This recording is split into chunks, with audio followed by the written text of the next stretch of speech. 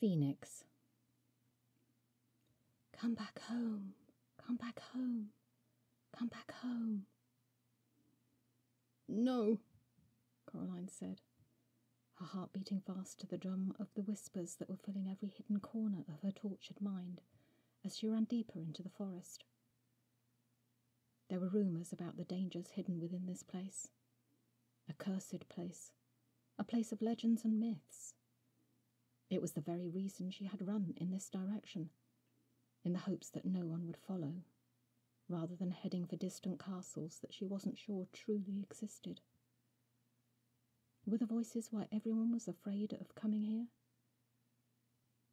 You're immortal. You are chosen. Come back home. Immortal? Chosen? What did that mean? She could understand the call to go back home, but the other things? I'm not, she yelled. You have the wrong person. Leave me be. She felt as if she had been running for hours, although that couldn't be true. She fell to her knees, unable to move another step further. But the voices continued on. Immortal, chosen, home. She was only twenty years old. She was a nobody, somebody you'd never recognize in a crowd. Why were they saying this? Please stop. She had been drained of all emotion by the time the distant words eventually began to fade, gradually sucked away as if they had come from another dimension. Were they truly gone? Had she even really heard anything? Or was this all in her imagination? A sick joke she was playing on herself because of the inexplicable guilt she felt for doing what was right for her. She couldn't be sure of anything any more. But after a long period of silence, the anxiety Coraline had been feeling began to fade to a baseline rumble in the depths of her chest. The words still stuck in her head, though. They no longer had to be said out loud. She scanned the murky depths all around her. She had no fear of the dark of the forest, at least. That she would not turn away from. It was the darkness of others she wanted to banish. Was she truly free? All her life she'd been kept locked up in her own house, like some kind of caged monster unless accompanied and shackled by fear. Everything she'd ever done had been carried out in accordance with strict rules, in the name of the father who despised her, and for whom nothing was off bounds. Her escape had been luck more than judgment, a spur of the moment dash for freedom. She almost couldn't believe she'd managed it. But she was here. There was no doubt about that. As her eyelids began to droop, her body desperate for respite from her tiredness, she realized this was probably the loneliest she'd ever felt in her whole life, which was quite a revelation. She didn't even have the comfort of a worn out straw bed to cling on to. And she had no idea where she was going next.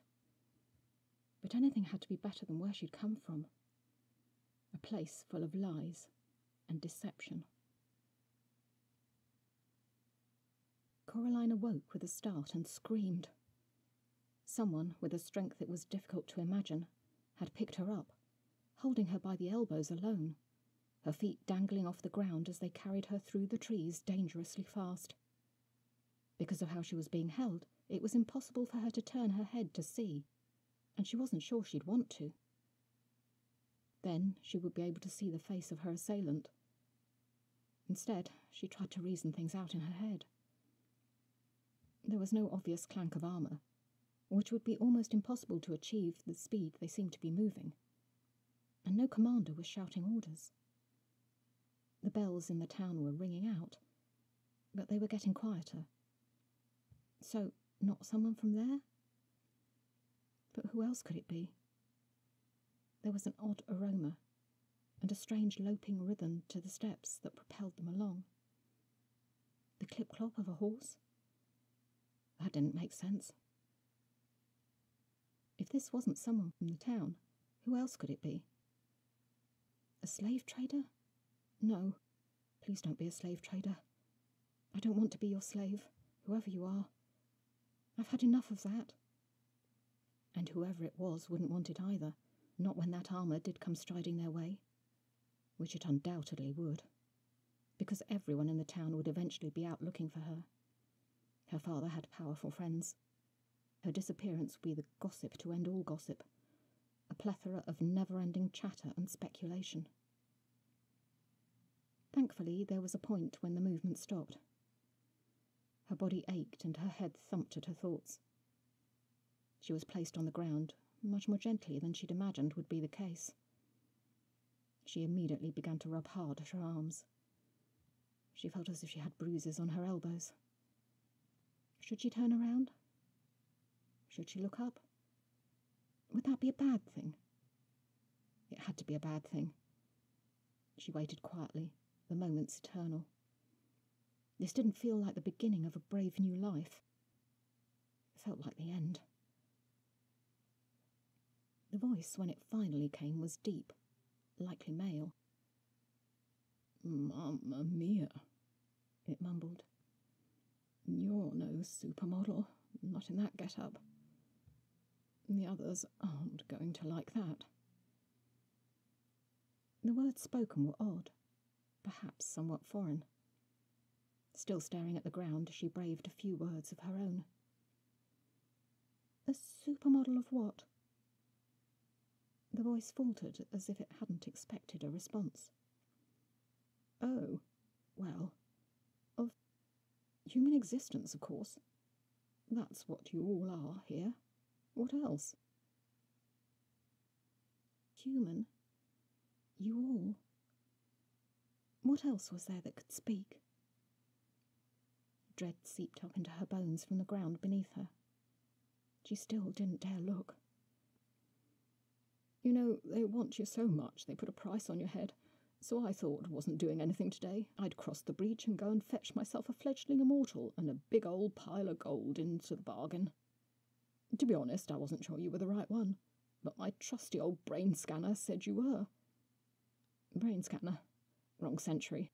My trusty old senses, that's better. Anyway, that's why you're here. Now, with me. What have you got to say for yourself? Coraline gritted her teeth, unable to pass anything she'd just heard. I have nothing to say. Well, that's clearly not true, my dear, because those things you just said, they was words. Without thinking, she did lift her head and saw a beast? A man? Neither one nor the other. And were those wings? Or just very big shoulder blades? And she had no idea why the next thing she said came out of her mouth, but it did. Why did you carry me like that? I could have ridden on your back. The thing snorted, belying its equine traits. That prized position, my dear, is for those I love, not bounty. She spat back. You're just another monster. You know, I could be a monster, but you have no way of knowing. He made a clicking sound with his teeth and flicked his tail. Run, she thought. But her two legs couldn't beat four, not even on a good day. No, you couldn't beat me. She felt as if she were lacking air, as if the stuffing had been knocked out of her. The creature could read her thoughts, too. He was still staring at her. She squirmed. The words, my dear, are written on your face. He smiled in the way of someone who'd just thought of a private joke and wanted you to know about it. But, after a large sigh, he lowered his body to the ground and sat opposite her, arms folded, a look of resignation on his swarthy, bearded face. Look, I could be the monster of your nightmares, but I'm not. Those people in that town of yours are much more likely to do you harm than I am. Coraline frowned. But you said you were all out for the money. Ha, money. There's no more a pot of gold for retrieving you than there is a new weave for my tail that I haven't tried. I just thought you'd believe it more if I said, if I were threatening rather than trying to befriend you. See, I can see it on your face again. You doubt that I'm a friend, and I get that. Why would you trust me? You've not been treated well. You're scared. Most of the people you have known did not see the beauty in you. But I do, and I want you to see it too. To do that, you have to trust me. I will take you to where you need to be, to where things will be better. But you have to trust me, or this isn't going to work. Coraline picked at the phrase on her dress. The beauty of me. I'm not beautiful. I'm just. Damn. I knew that supermodel comment would come back to bite me. There's more to beauty than just looks, you know. And yes, you might not be as beautiful as me, but you're not half bad. A bit more meat on your bones, little less mud, a more stylish outfit, that beautiful copper hair gleaming in the sunshine, a smile on your face. Despite herself, Coraline's face cracked into a nascent grin. Not half bad. Is that a compliment? The creature winked. Well, I know you can't reach the heights that are my perfection, but. He held out a hand. Chiron, pleased to meet you, Coraline. I am officially your saviour, and at your service, at least for the present. Now, can you please take this pack off my back for me? It twists my insides to oblivion every time I do it myself, and I'm really not getting any younger.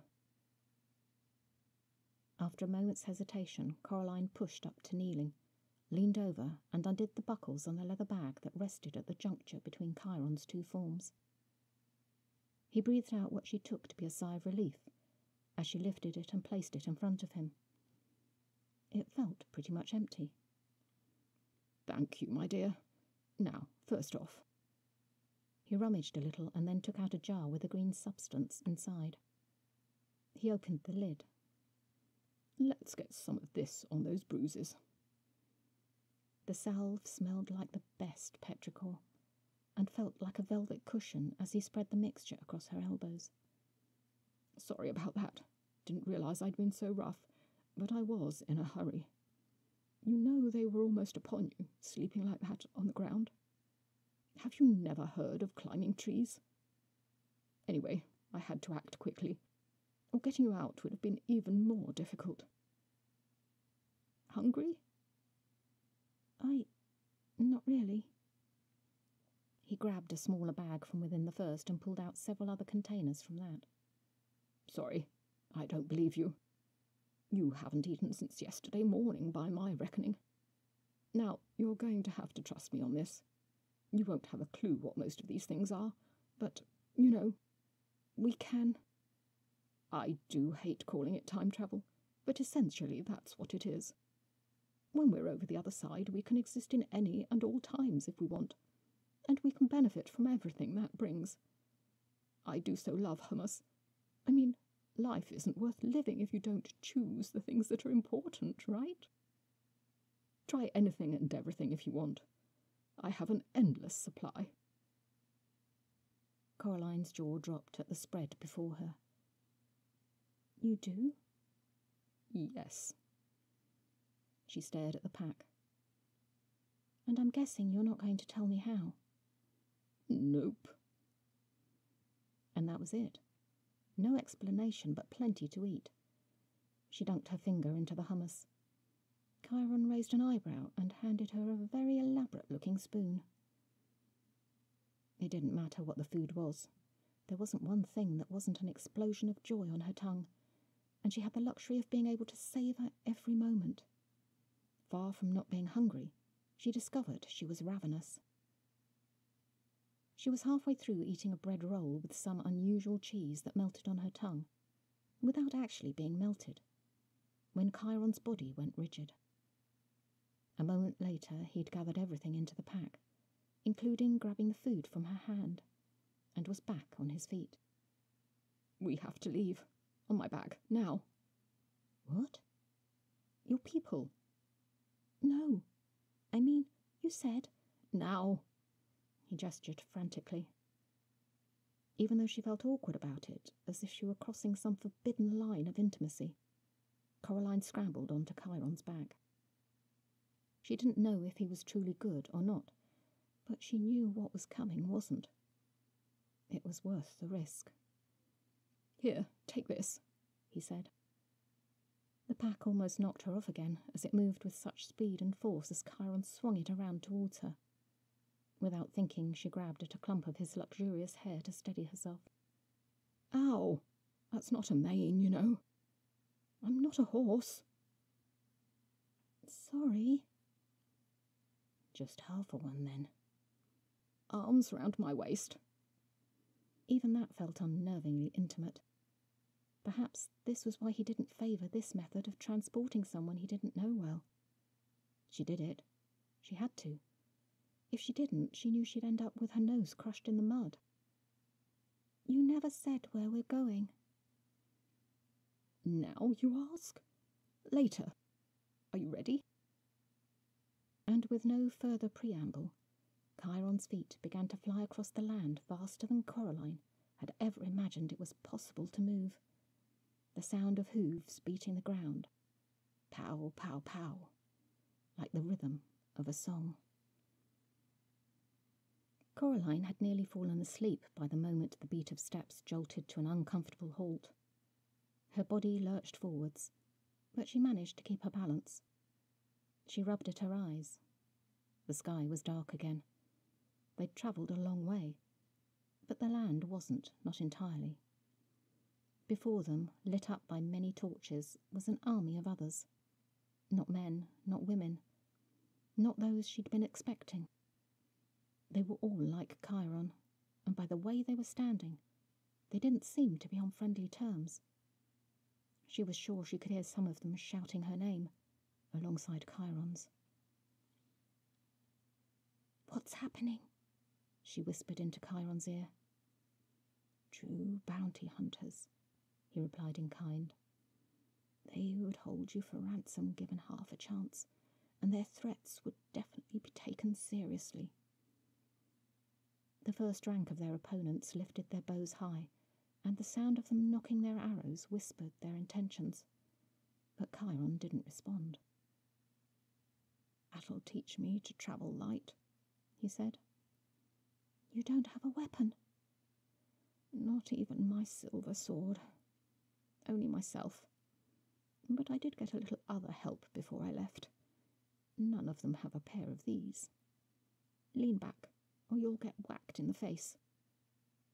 The stubs she'd noticed before really were a pair of wings, and they unfolded from Chiron's back so fast that Coraline felt a breeze across her face. Helps to have a few friends over the other side, ones who can do the magics on you. It's a one time deal, though. Single use wings. Who'd have thought that would become a thing? This is not the time to battle. This is the time to flee. You know you were holding on tight before. Well, if your arms aren't like a vice this time, this isn't going to go well. Coraline got the message loud and clear. Unfortunately, arrows could also fly, and as they lifted up from the ground, the air became flooded with a multitude of potential, whistling lethalities. We're going to die, she said. Don't think about it. Look on the bright side. Chiron took a sharp turn left. The bright side? But all their eyes are on me. You're going to have to teach me how to fight. Oh, I'm pretty sure you're wrong there. Their eyes are on me. I'm the only one they want to knock down, but if I'm going to die, I might as well die as a king of the skies as anywhere else. And as for the fighting, that is definitely not in your future. Chiron swerved as best he could, weaving back and forth. But it wasn't good enough. The odds were too great. Once one arrow had pierced a wing, it seemed that all the others found their target. Trying to bring Chiron down was their game, and it was working. Perhaps not in spirit, but in body. I'm heading for the river, he cried out. Coraline could feel any remaining colour drain from her face. But I'm afraid of water. No choice. It'll give us a softer landing. We are going to fall, but the water will help break it a little. Whatever happens, you'll be all right. Me? But what about you? It felt as if Chiron shrugged his shoulders, but that would be impossible while flying, surely. Fear for nobody but yourself. You are everything. Before she could reason that out or deny it, they hit the water with a thud, and a huge wave accompanied the impact. Coraline couldn't hold on. She was thrown into the raging river, and before she knew it, she was beneath the surface in dire need of air. She beat her arms in the water, trying to push against the flow, but it was impossible. She tried to grab onto anything with the tips of her fingers, but everything she touched was too slippery. She was on the point of giving up, her energy sapped completely, when four strong legs cocooned her between them, somewhat roughly. Without thinking, she grabbed for Chiron's tail, which dangled right above her head, pulled, and slowly surfaced above the water. She spat and coughed and spluttered, Bits of mud and debris caught between her teeth. She gasped for breath, shaking from cold and shock. But she wasn't given a chance to dwell. Are you just going to stay like that? Chiron said, head turned back towards her. I mean, I know I have a great. I'm getting up. That was easier said than done. Her limbs felt like lead her head fuzzy with words that were not ready to come out. Eventually, she managed to crawl over to the bank and flop down upon it, which was no grassy paradise, but a mud pillow at best. The water might have washed the dust from her clothes, but that was a short lived state of affairs. Chiron remained in the shallows. So, what's our plan B? she asked. I don't have a plan B, I only ever have a plan A, with an extra plus for originality. It's best not to think about failure. You know, aim for the sky. I don't usually do that literally, but hey, sometimes things work out that way. Coraline frowned. And that helps us how? Well, don't tell me you don't have a plan of your own. I mean, you went out into the forest on your lonesome. You must have had a plan, no? Coraline crossed her arms. I don't know where we're going. You still didn't tell me. How could I possibly have a plan for that? Ah, yes. Well, in truth, my dear, I'm not really supposed to tell you anything. That's for them to do. You don't know? Of course. I know where. I know why, too but some things cannot be put into words until the right moment. Do you understand? No, not really. None of this makes sense to me. Chiron shook his head, and the movement rippled the length of his body. No matter.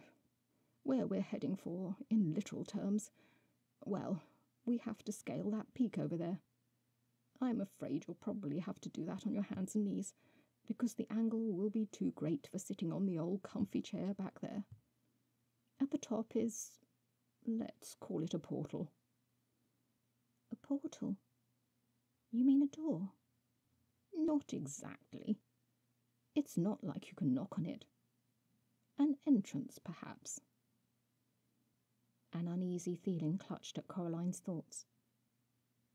And where does it lead? To your future which I am absolutely not at liberty to talk about. Chiron looked left and right. Any idea what happened to my pack? Oh. Coraline glanced down at her lap, as if somehow the pack might miraculously still be sitting there, clutched tight by nothing at all. I think I. Well, some lucky soul will have food for life. I guess I'll just have to heal regular fashion. Can you pull these tatters off, please? The last thing I need is to have to be dealing with extra appendages flapping about. You mean the wings? But aren't they attached? Well, yes, of course. But they're not standard model. All you need to do is pull. They come off easy as. Look, my dear, we are fearless warriors. We do not shirk from a little pain, do we? We carry on. We rise above it. We get to where we need to be before the enemy finds us again. Because we don't want them stripping the clothes from our backs, do we? Coraline raised her eyebrows. Oh, yes, well, I guess it's kind of the same. But it has to be done. Come on, get on with it. She grabbed hold of the first wing, willing this to not turn out how she imagined, held on tight, turned her head away, and pulled.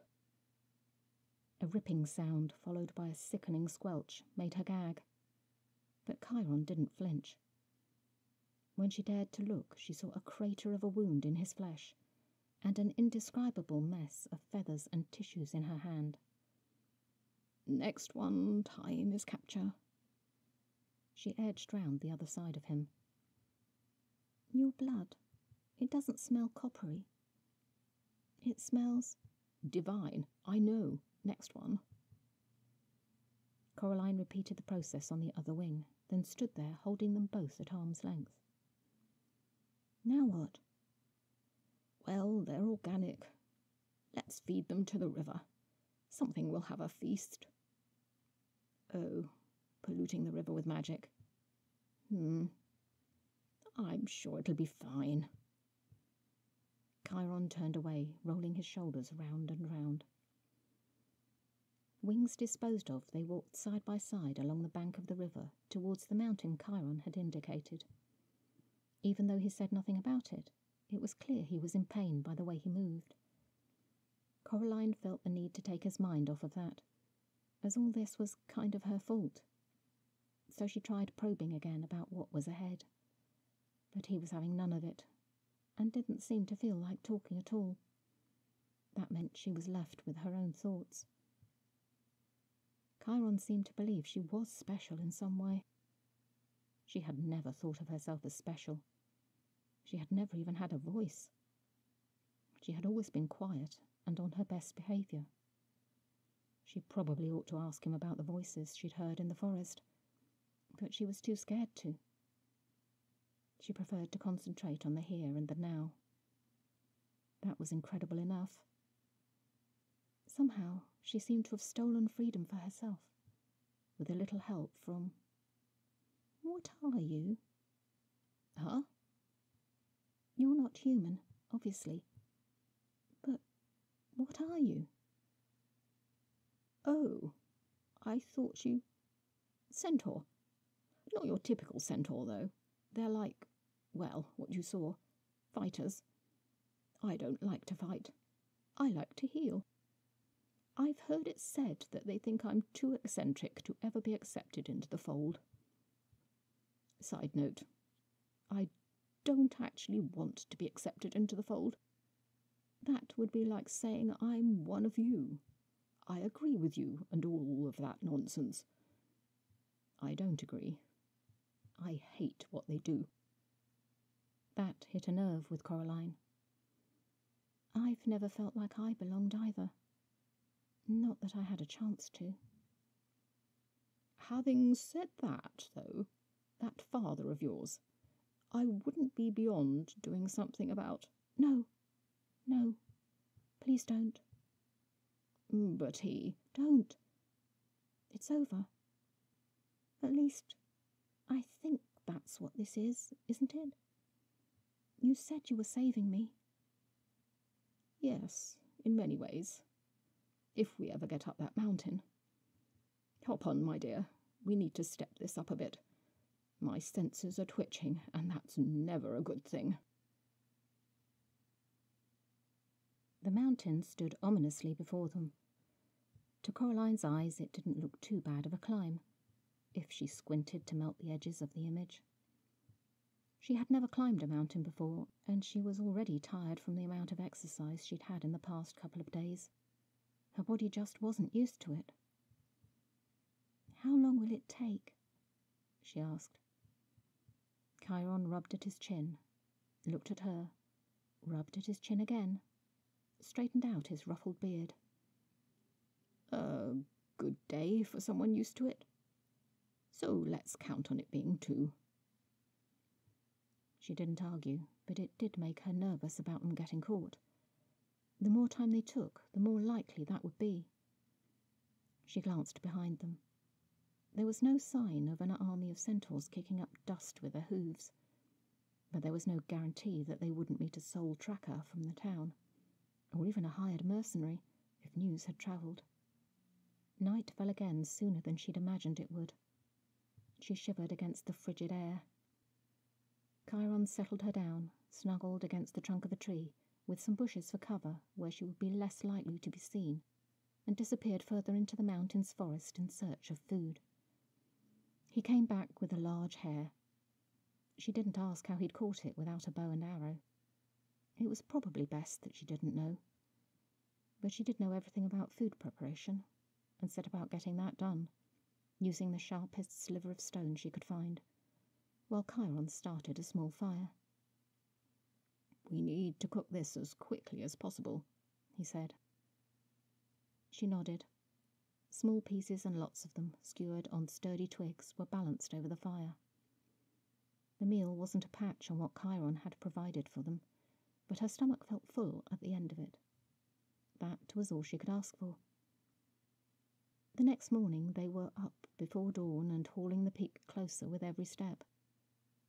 It struck her how fresh the aromas of the world were just before the light hit, as if every day really were a new beginning.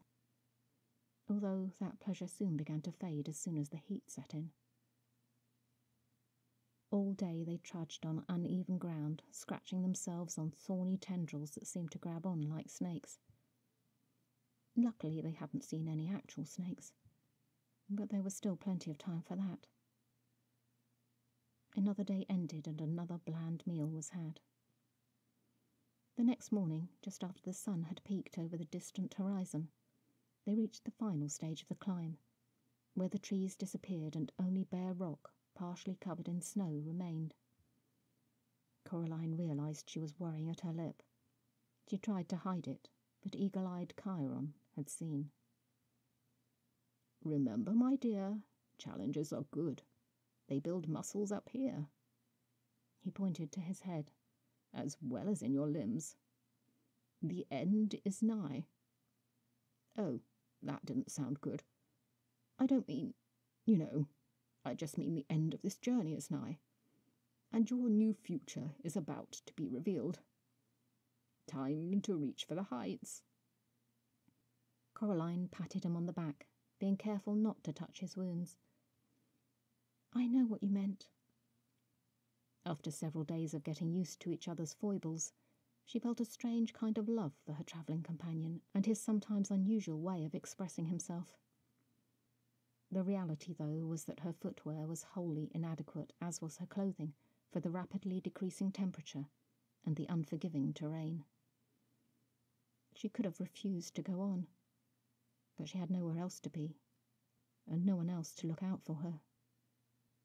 We're really close to the top now, Chiron said, chivying her along. Only another hour or two. Your new world's nearly here. We'll be there by midday, just in time for a fabulous lunch. I can almost smell the deliciousness from here. That didn't help. Her stomach began to rumble like her very own earthquake and Chiron was wrong. That last section took as long as the rest of the mountain all told. It was closer to time for an evening meal, with nothing in between. When they finally got there, they stood side by side for a moment, which was difficult because it wasn't flat, and her shoes didn't have a lot of purchase. She felt as if she might fall at any second. Look around you, Coraline. He opened his arms out to what was before them.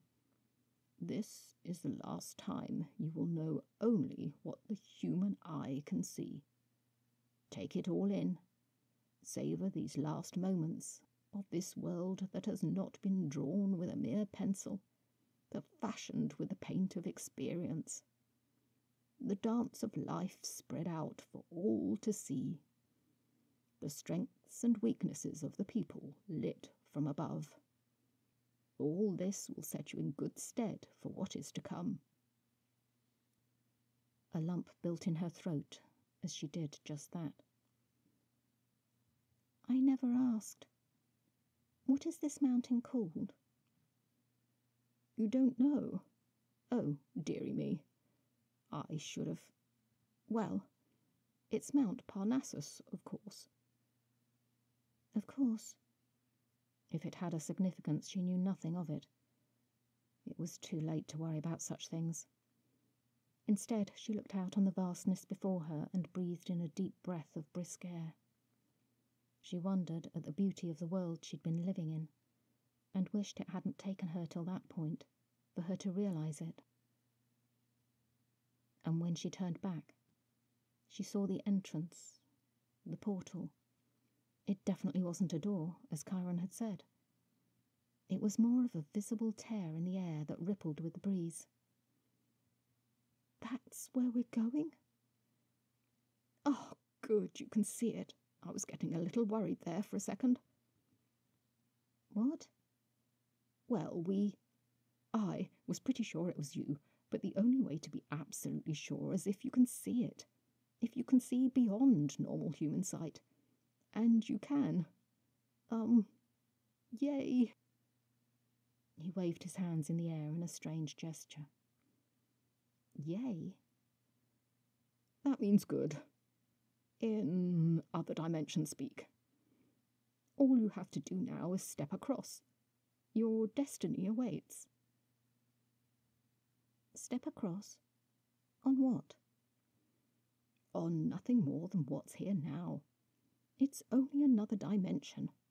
It's not like we're going to another planet. That's a whole other ball game of nonsense. Perhaps she hadn't quite gotten used to Chiron's way of speaking. That made no sense at all. She put a hand on his arm.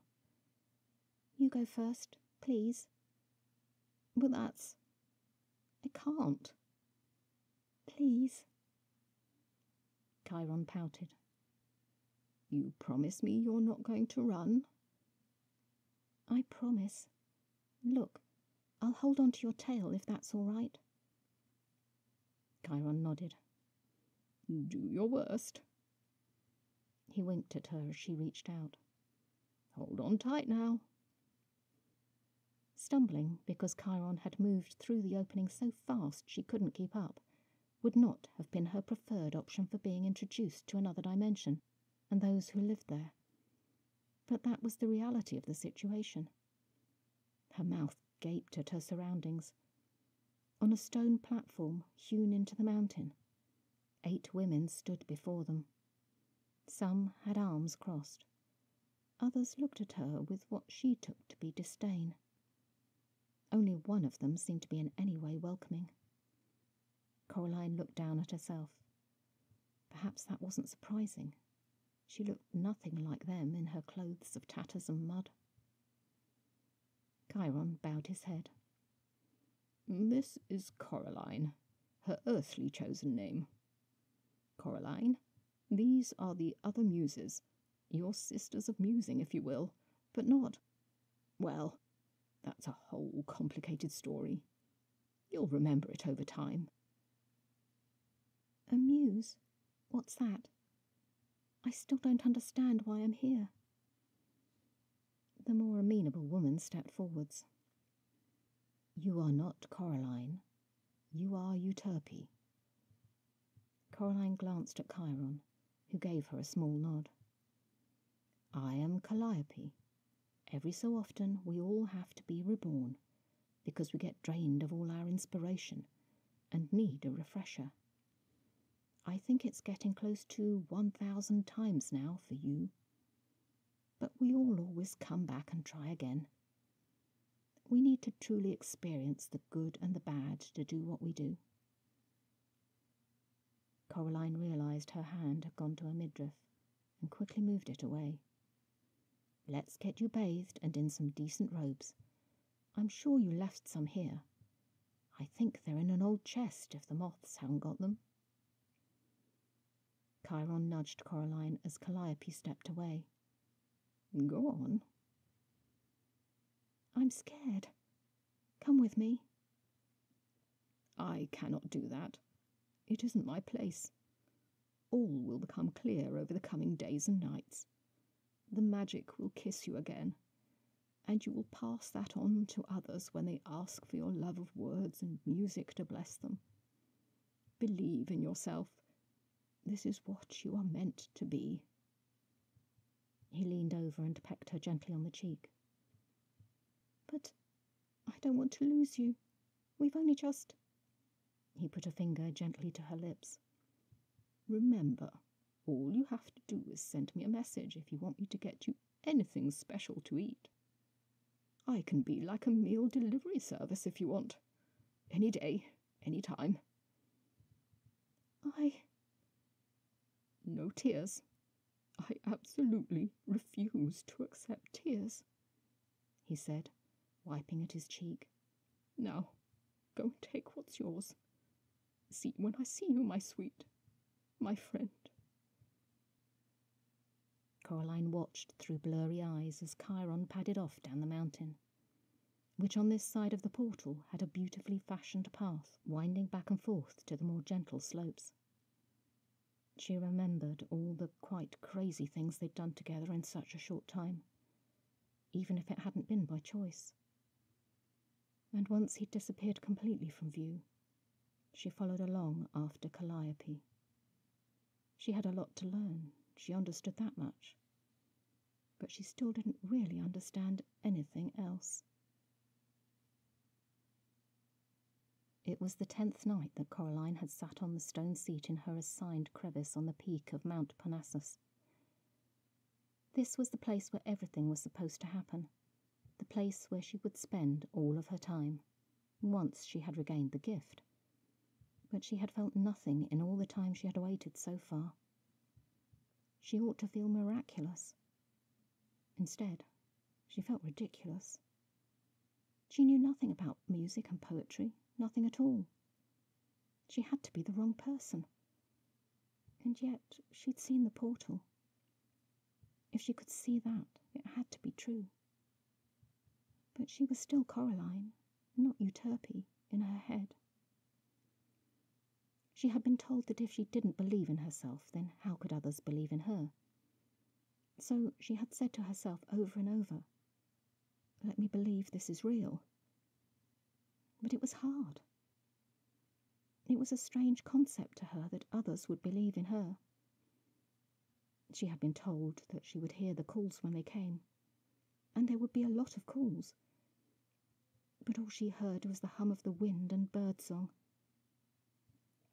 The musical inspiration for every single human being who lived on the earth. That seemed like an impossible task. There were so many people, she had been assured that not everyone asked, and it was not her place to force her thoughts upon them if they didn't wish it, even if they were struggling. But even so. Another thing that disturbed her was just how she was supposed to recognize when someone called, if it wasn't her name they used. Because that was the deal. Anyone on earth could use any name, and she was supposed to answer. Or no name at all. And was she supposed to write their songs, their musical stories for them? Was that it? Why would no one tell her? And did she never get to sleep? It didn't seem fair that she had to find all this out for herself. She was so frustrated. She leaned back against the rock and closed her eyes. Nothing here was black and white. There was every shade of nuance and it was just so difficult. As dawn broke, though, something shifted. She gasped and grabbed onto the seat. It was as if her dimension, the other side, had dropped away, and she was back in the land where humans lived, the world she recognized but didn't because there were so many outlines intermingling with each other. For a moment she thought she'd woken up from a dream, and perhaps she had, but not in the way of a good night's sleep.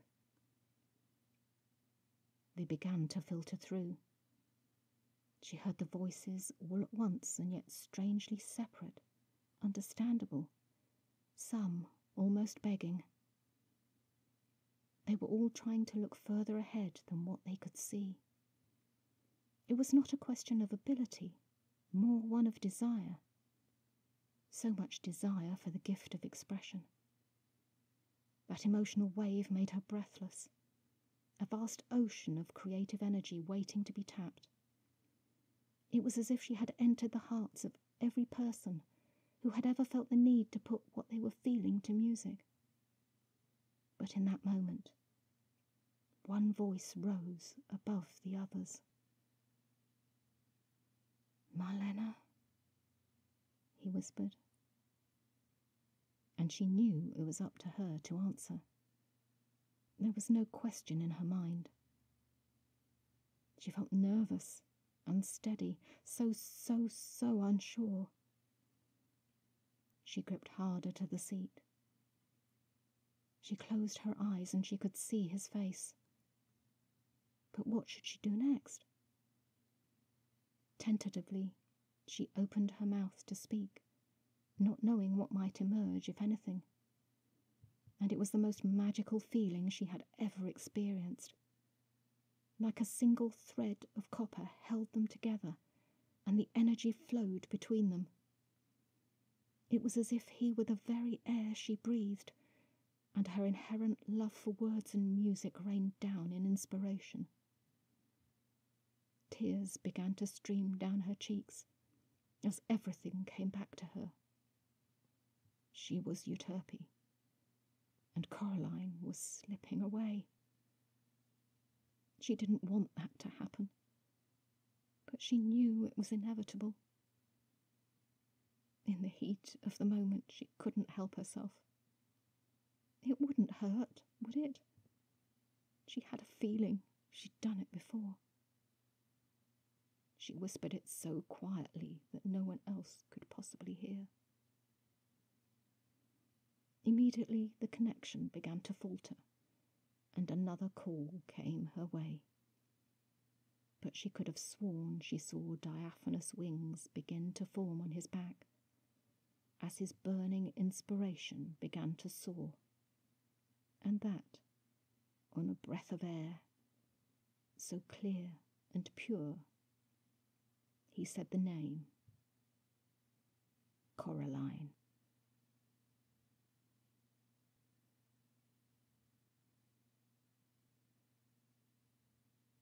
Hi, I'm Juliet. I feel the creation of this story requires some explanation because it's a lot longer than the stories I usually document on YouTube. So let's start at the beginning. Two random facts first. One, in December 2020, I started learning Italian.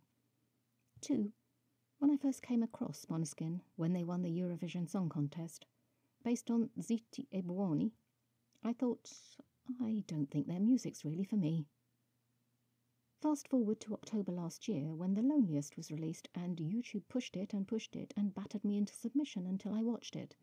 And I thought, oh, not what I was expecting.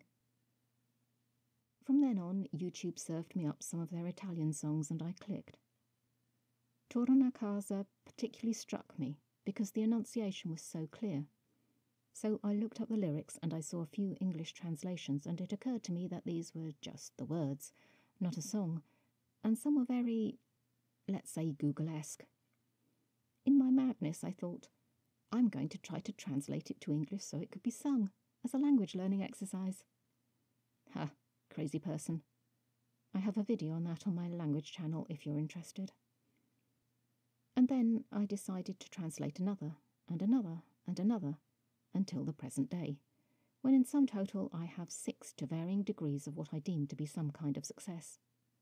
You should be able to determine at least four of them by now, especially as I've just given you one to be getting on with. So I was thinking about an idea for a brand new story for this channel, deciding where I could grab some prompts from, and staring at my YouTube homepage. It hit me. Song titles. I found the titles for 25 Måneskin songs to use as prompts pretty easily, which was a nice manageable number. Not the highest I've ever done, admittedly, but a solid base. Thinking I was just going to be using the titles, I wrote them down, set up my document, and something else happened as I started to write. I was adding references to things in the songs I knew, too, using them as prompts. Darn it, I couldn't do that just for six out of twenty-five, that would be odd. When I had the lyrics for all twenty-five, of course, another ten of them were in Italian, so I had to do a very rough translation of them to get phrases and ideas that I could grab. This project was definitely turning into something a lot bigger than I had expected. But I'd already committed myself to doing it, and I'm not one for backing down from a writing challenge I've set myself. When I write these kinds of stories from multiple prompts, I don't usually have any idea where they're going. I'm a discovery writer, not a planner, but the prep had taken so long that some things had become clear. I realised I was actually writing about the Coraline, rather than just using the name uh, what might have happened if she'd got out that door. Which made me very conscious of the fact that I wanted to be respectful to the story of the song. I hope I achieved that. I also knew how it was going to end, which meant I was delving into Greek mythology. A mythology I didn't know a lot about, or rather, hadn't retained a lot about. And yes, I do know the connection, and there is an oblique nod to Icarus. Most of those references were researched on the fly, like finding out that most centaurs were marauding maniacs. That kind of limited me on names. And discovering when I looked for mountains, because I had to have a mountain to scale, that the Muses lived on a mountain was a relief. Trouble is, which mountain changes depending on the version of the myths you refer to. So I just plumped for one and went with it. So, a story with 25 song titles as prompts and over 60 other prompts relating to things within the songs. Still not beating the highest number, but getting a lot closer. I did make an exact list of what I deliberately used, but I know for a fact that there are other things that could be included as well, but weren't exactly planned to be so. And there are repeats, which I didn't count. And there's at least one from each song, although some could have come from multiple songs. So that's how it came about. I hope this story makes you smile and maybe invokes some other emotion too. I have this creation of video which covers the crappy first draft if you're interested in that. Some passages have changed a lot, several times, and others are more recognisable. If nothing else, it proves I'm not ChatGPT. And here's my language channel if that's your kind of thing. Until next time.